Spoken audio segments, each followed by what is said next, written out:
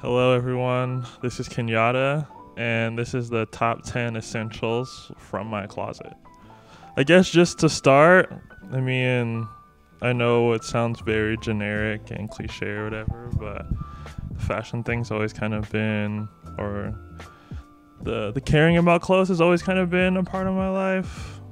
I think as I grew up, you know, from being a child to older, the taste has obviously elevated and changed a bit, but a lot of things have kind of remained in the same lane.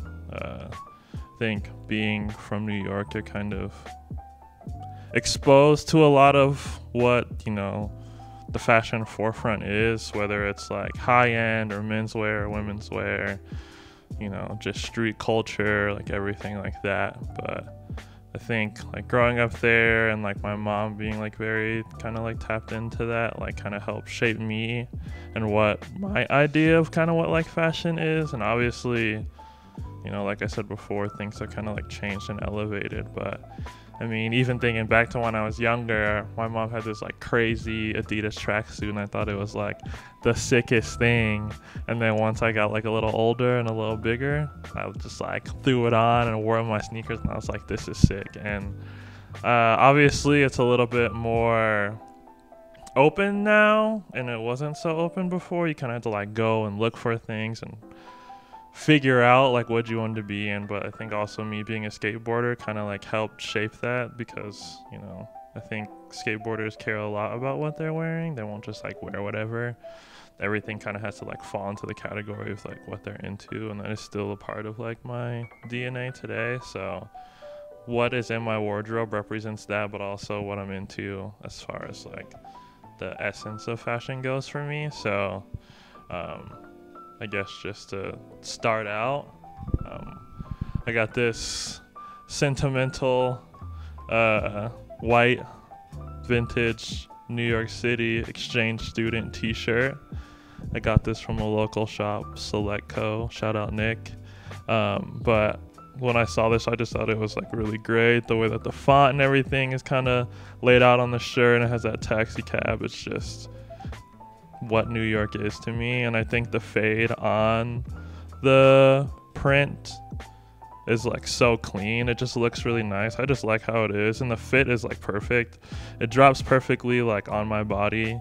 And the way it looks and the material is really soft, but it's still sturdy. It doesn't feel like it's gonna like rip in two seconds. And I think I try to stay away from that. And I'm very like clean cut with my style. Like it's just a representation of like how I am, like minimal, clean, not too much branding, but obviously can stick out in any environment, but also timeless. Like a lot of my wardrobe has to do with the fact if I'm partaking in something, I want to have it for more than two months. Hopefully, I can have it for a few years, but obviously, you know, things change and you become a part of other things and you see other things, whether it's you know fashionable or popular or something from your past or whatever. So you know, all these things kind of like make up just what it is and the, the essence of you know fashion for me. So the next piece that I'm going to is a skate brand called Polar Skate Co. And I love what they do as far as like a skate brand. I think there was a lot more emphasis on like clothing brands, especially like growing up and being a skateboarder. Like my favorite clothing brand was like Four Star, and they had like all the sickest stuff and like we're very tapped in. But obviously, like that is not here anymore. But Polar being like a newer European brand and them being like more fashion forward, I think allowed them to create pieces that is I guess more fun to indulge in if you are a skateboarder and allows you to like care a little bit more. A lot of people know them for like the big boy pants, but I think like their knitwear and like sweaters and t-shirts and jeans and everything that they make are like very solid but also like timeless minimal approach they obviously take cues from the early 90s kind of like era, but they put their own twist on it that makes it relevant today. So this crew neck, I'm a big crew neck person, if I'm in the house, if I'm just going somewhere, if I'm working from home, I'll like throw on a crew neck to just like make me feel like comfortable, but also like like I'm still getting a fit off in the house.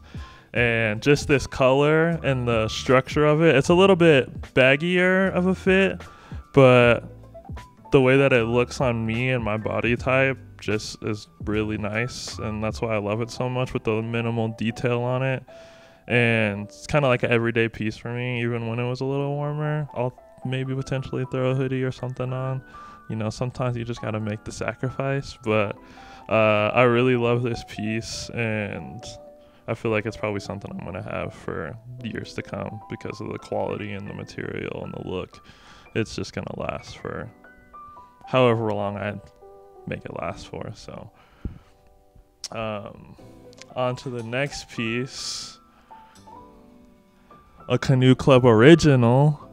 Uh, this was the second version of the Canoe Club hoodies that they did.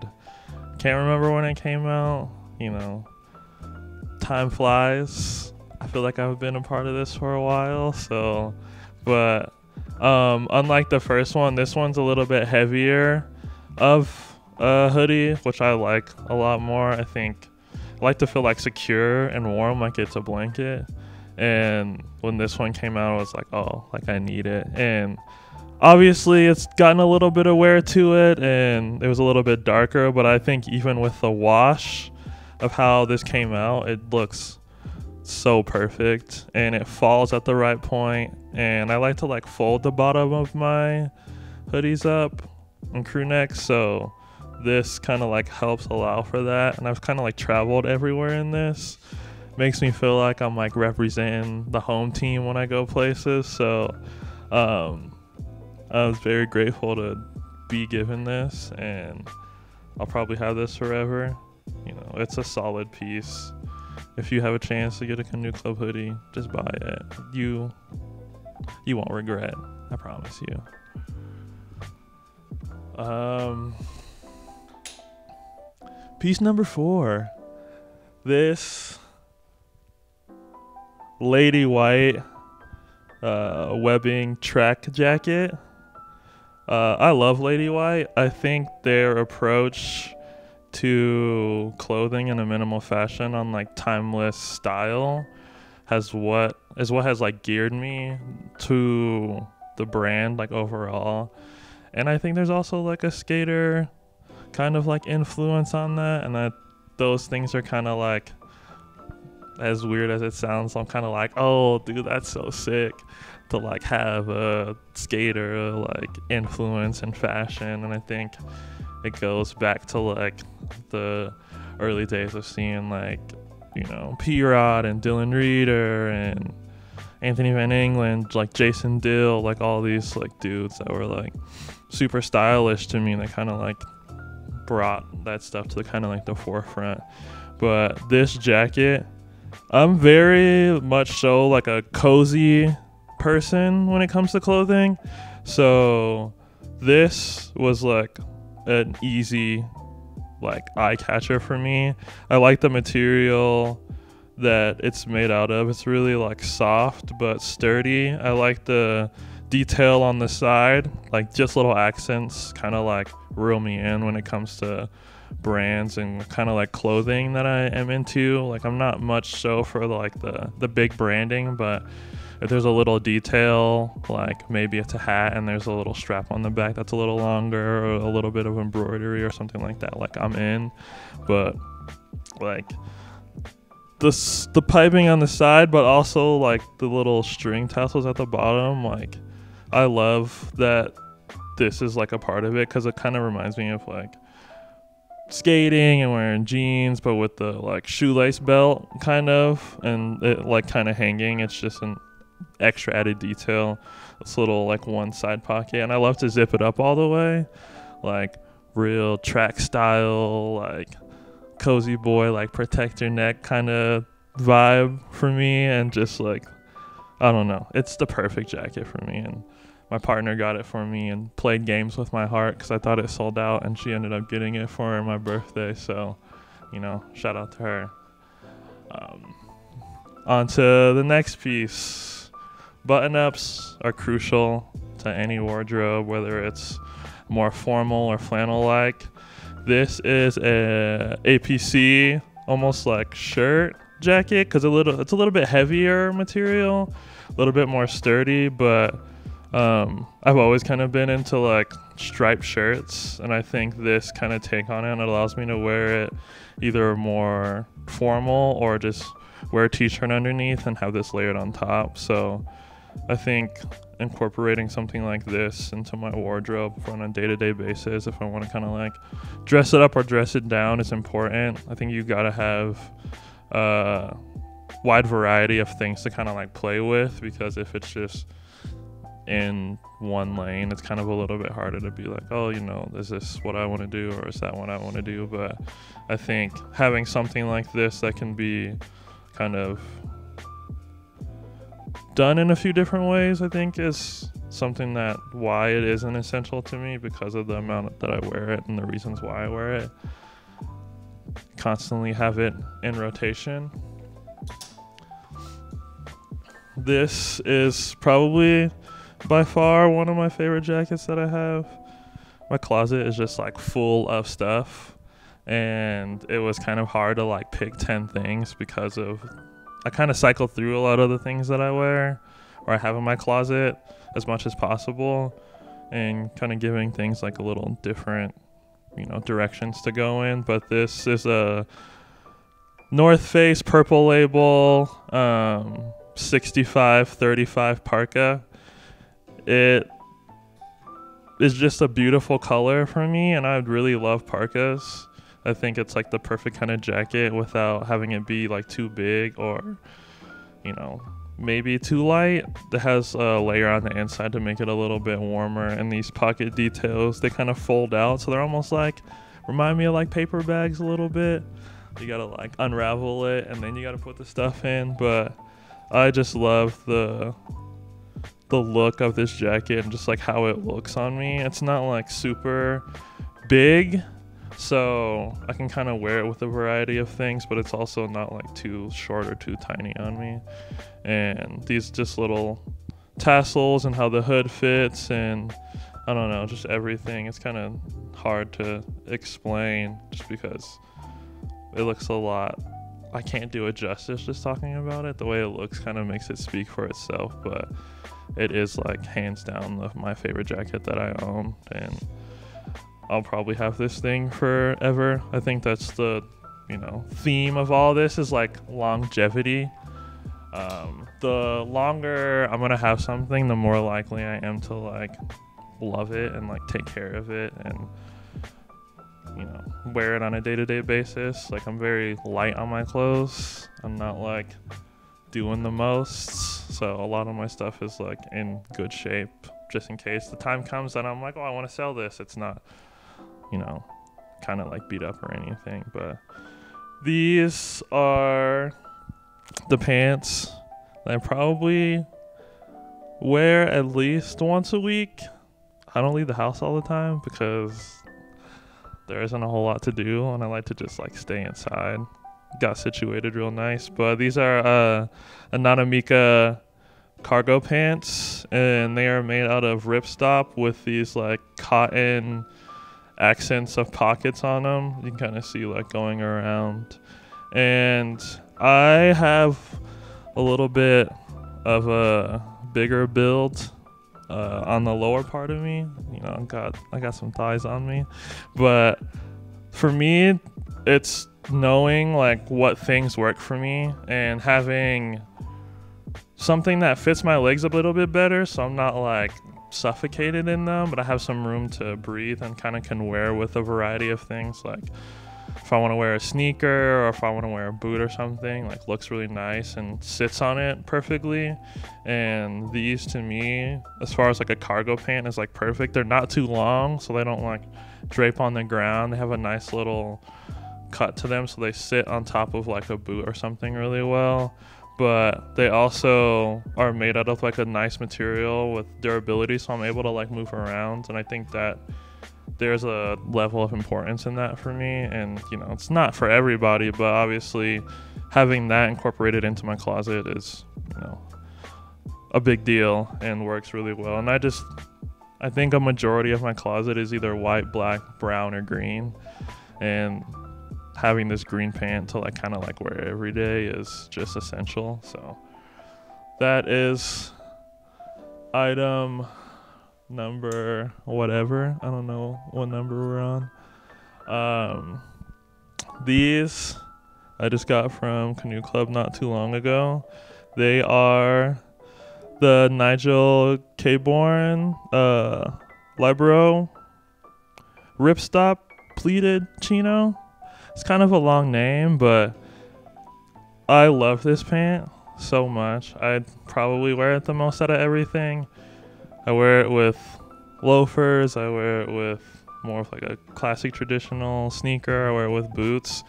They're a little bit uh, roomier, but I love the like pleat and the detail on them, like these like traditional kind of like military style buttons on the top to kind of almost like attach overalls or like anything like that. But that's not really something that I do. But I just love that it has those accents because I think Nigel Cabourn, you know, takes on that timeless style that a lot of us are familiar with and puts his own twist on it. And I think if a designer is into that, and obviously there is a million different styles of everything, but it's always going to be someone else's vision. And I think, you know, wearing these pieces is always going to look different on everybody. So I think his take on this with like a little bit baggier, longer inseam but this nice breathable light material to kind of like move around in. I love this pant. I feel like it's probably like my perfect pant. Um, I don't wear a lot of jeans, and I know a lot of people kind of like have a good rotation of jeans in their wardrobe, but they just don't fit me that great. So it's kind of a lot harder to find jeans. So sticking to something like this just works a lot better for me, and I'm the importance is, is like getting use of something like this, getting a lot of use in a pant like this, and not just kind of like, oh, you know, I don't know if I feel comfortable in it or not, but um, this is just a way to go. Um, so this is a Norse Projects wool cap. I think I've had this thing for like 10 years.